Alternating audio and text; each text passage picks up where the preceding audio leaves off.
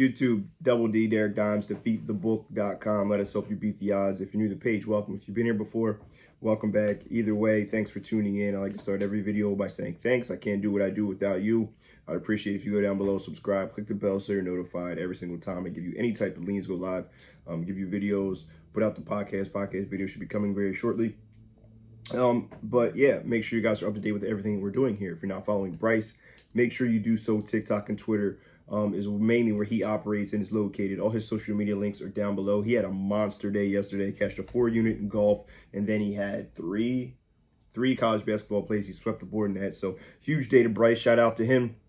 The weekend package is up. Obviously, it stays up. Uh, weekend pass, $34.99. You'll be able to hop on board and take advantage of what we had. I had another another positive ROI day, two and two overall, but we had two best bets and we cashed those. One of those you guys got right here for free. So don't, you know, don't make it like I don't give you guys some quality content here um, and, and quality picks because we're going to make sure we take care of you guys. And you never know which ones are going to be best bets and which ones are not. But if you hopped on the card, you had a tremendous day. And we're going to look to have another good day here today. We will have some NBA that usually comes out closer to the afternoon. I like to get a look at the injury reports. Guys always are in and out kind of late in the NBA.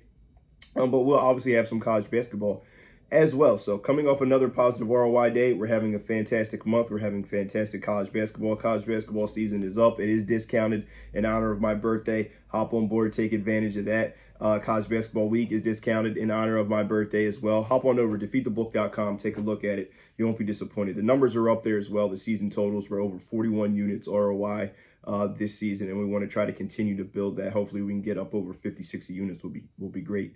Um, one of the goals that I've had starting the season. So, want to have a good um, free pick here. We're three in a row. Want to try to get you another one here today. Let's get to it. Too much talking, right? If you look for full recap, defeatthebook.com. You scroll down the homepage, it's right there.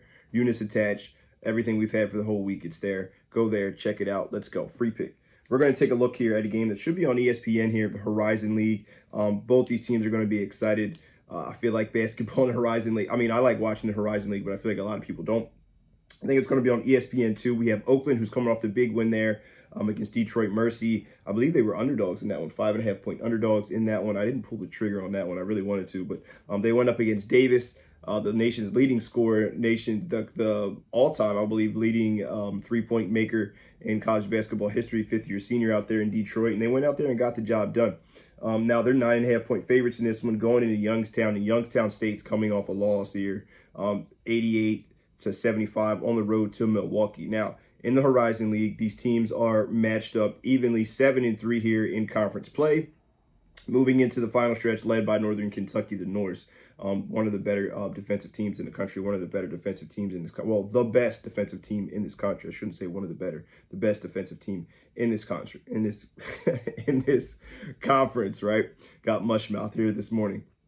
So we're going to see Oakland go into this one, and I think they're being um, a little bit overvalued here in this one. The line started at 10. It's going out to 9. A lot of people were hopping on it. They did split last year, but this Youngstown State team is very different. They are one of the best scoring teams in the country. You run their numbers. You check their stuff.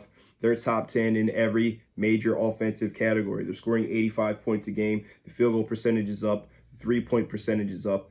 Um, and neither one of these teams, honestly, are very good defensively. They're just they're just okay defensively. Oakland, I believe, had success against Detroit Mercy and some of these other teams. So they're fifth um, in conference defensively in the conference.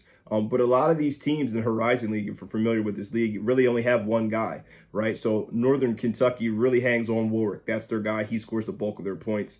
Um, similar to Detroit Mercy, who hangs on Davis, who scores the bulk of their points. And a lot of these teams only really have one big guy that's going to score a lot of points. Jalen Stone um, scores a lot of points here for Oakland. Um, they do have Rocket Watt, um, but he doesn't really store, score to the level that Stone does. Um, Cohill is a great scorer for Youngstown, but Youngstown just has so many guys that can put the ball in the hole. This is another senior-laden team. They start five guys. They bring another senior off the bench, um, and they scored at a high clip and a high rate. They're going to have the red out tonight. The fans are going to be there. The TV is going to be there. I believe we'll have a game um, for up until about halftime or a little bit into that, and then I expect Youngstown to really open it up uh, and get it rolling here. I think Oakland plays a zone like they did last time. Um, and even in the last game, Youngstown made a ton of threes, I believe uh, double digit amount of threes, but they turned it over 21 times, which is not really typical for Youngstown either. So I'm looking for them to come back um, off a bad loss here. Coming back home, should be packed house, a lot of people there. Will be sketchy early with the emotions and the hype. Usually teams get a little bit crazy. Then I expect them to settle in and play their game and pull away later in this game. Youngstown State's just too good of an offensive team to hang around with a team like Oakland who really doesn't rebound the ball very well either.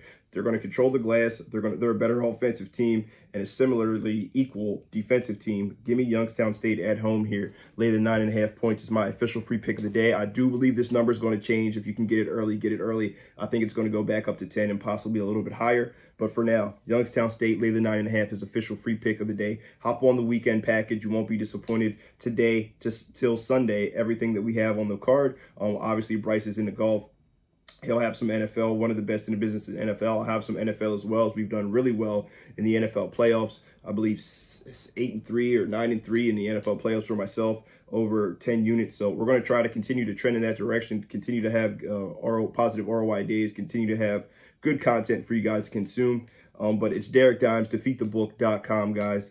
Best of luck if you decide to tail. But either way, hope you guys have a great Friday. Good luck.